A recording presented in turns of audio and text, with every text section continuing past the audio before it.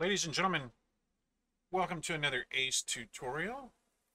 Glad to have you. Uh, today is going to be different from the standard tutorial. Instead of showing you how to make a website or uh, jumping into a program like Photoshop, I'm going to show even the least talented and least artistic of, of my viewers how to make art with artificial intelligence. It's a free tool and you might be astounded at the results.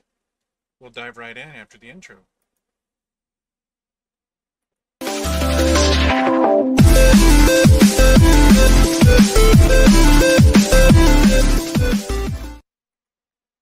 Okay, ladies and gentlemen, let's jump right in today. I'm going to show you a young man about 35, 36 years old. His name is Ian Goodfellow. Now, in the course of his uh, career, Ian Goodfellow, after uh, getting degrees in computer science and things of that nature, has worked for both uh, Google Brain, uh, Apple, their deep learning systems. Uh, he's he's done a lot of interesting stuff in computer science. Um, according to an interview with Ian Goodfellow, he was at a friend's going away party when he thought up a new idea called generative adversarial networks or GANs, G-A-N. What they do is uh, it's it's a couple of different artificial intelligence working against and with each other to create new things. And his idea for GANs has exploded into so many areas. So let me show you. Um, an idea of how GANs work is you're going to have two artificial intelligences working together. One is a generator and one is a discriminator. And what happens is you load like real pictures, uh, such as these cat pictures, real world images, into a system. And what happens is a generator or a computer just comes up with random noise or whatever, and it shows it to the discriminator. Now, it shows it at the same time that a real world picture is shown to the discriminator, and the discriminator learns what's real and what's fake. As it goes on, it keeps telling the generator what it did wrong so that the generator can get a little more real every single time. So it's not just discriminator's not just telling it i'm you know this is real that's fake this is real that's fake this is real that's fake it's actually looping back around and telling the generator well try to make the eyes look a little more this way. Try to make this part of the picture look a little more that way. Eventually it comes up with um, a fake picture that looks so real that even the discriminator will be fooled. These kinds of systems have been used in all kinds of deep learning and um, just to give you an idea of what they can do, there's a website called thispersondoesnotexist.com. The person you're seeing on the screen right at this moment is not a real human being. This is not a real photograph. This was put together by a generative adversarial network trying to fake human faces. It was imagined by a program called StyleGAN 2. It's uh, it's part of uh, some people that have worked with NVIDIA. Every time you refresh this web fake human beings picture, um, that is not a real woman. It looks like anybody you know. That's that is complete coincidence.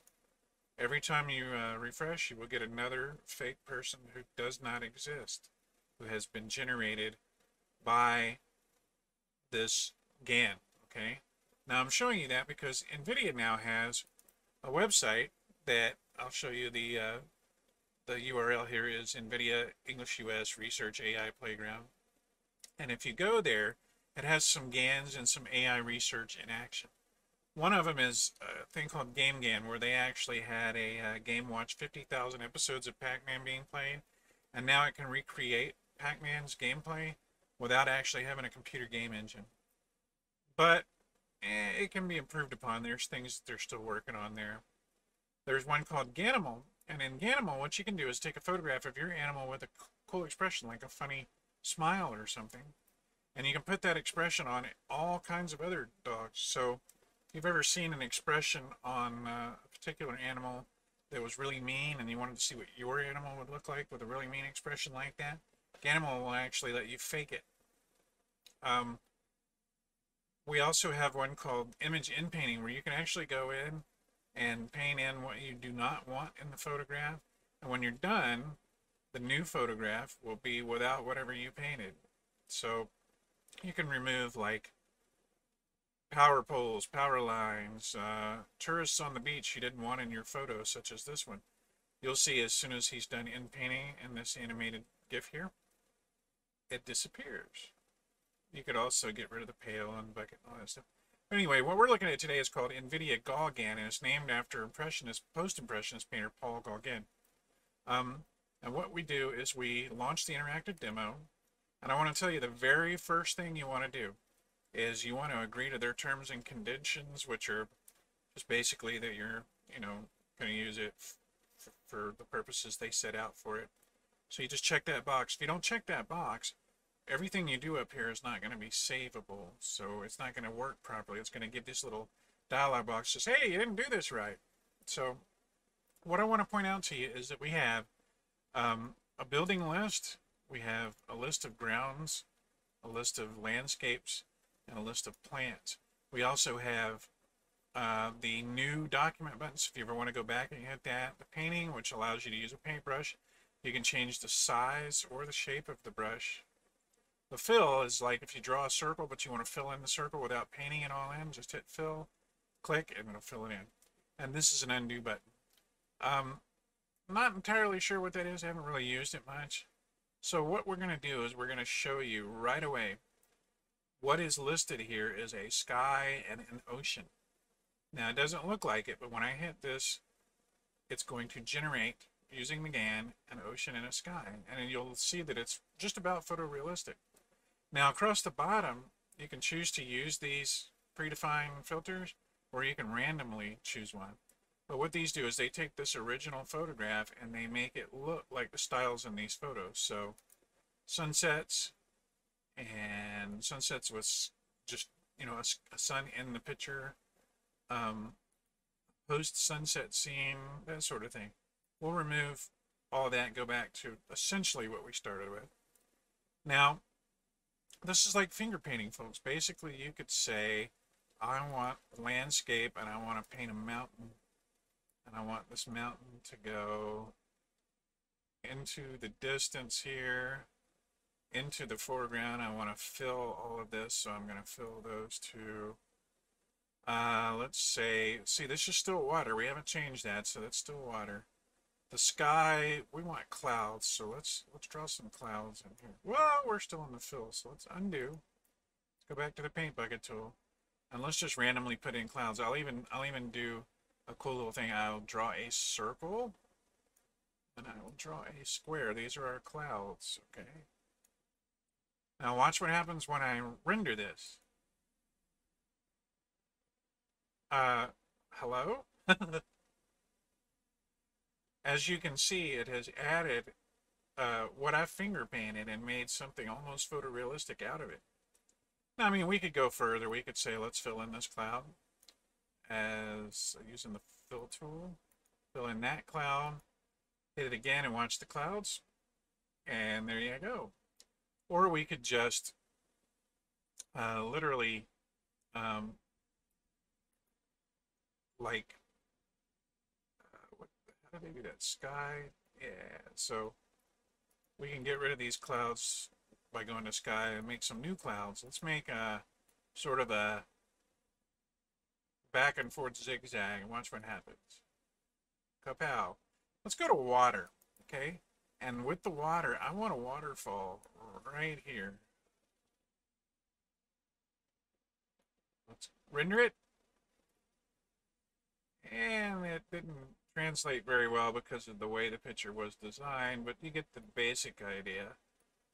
We'll go ahead and get rid of that, put our mountain back the way it was.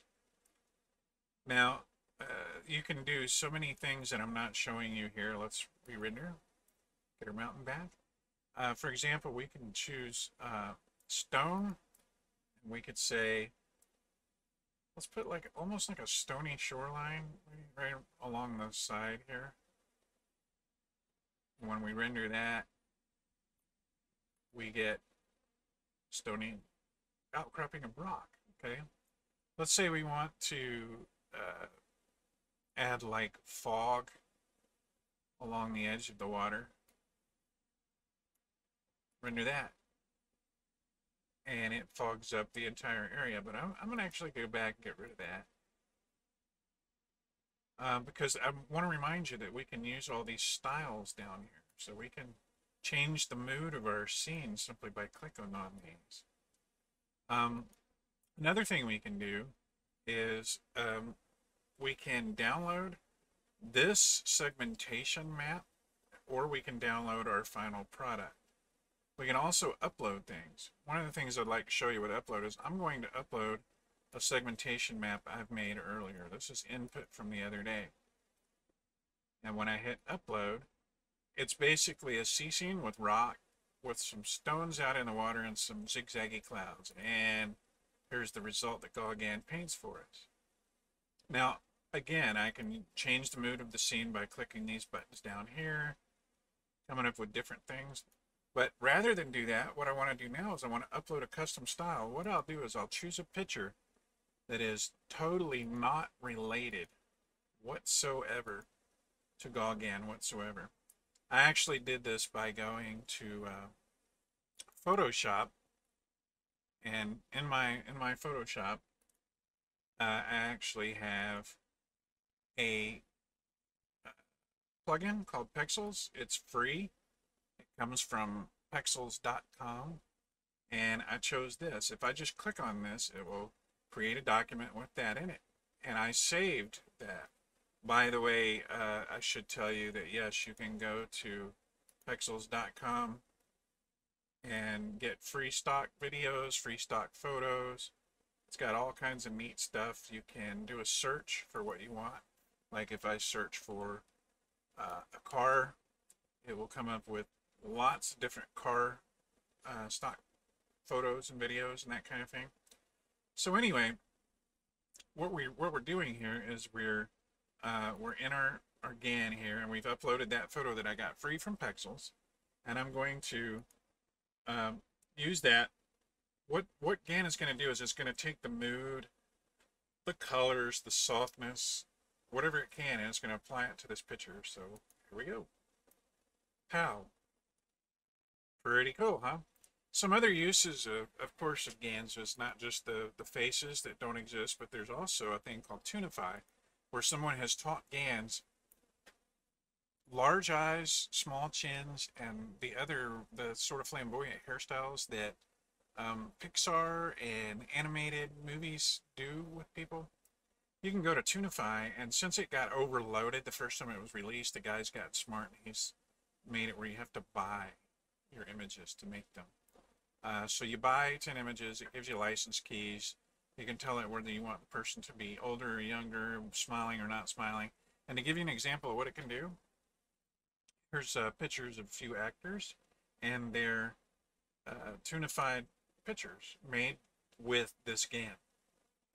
You can actually look for more examples and find other people that are also famous and what their toonify looks like.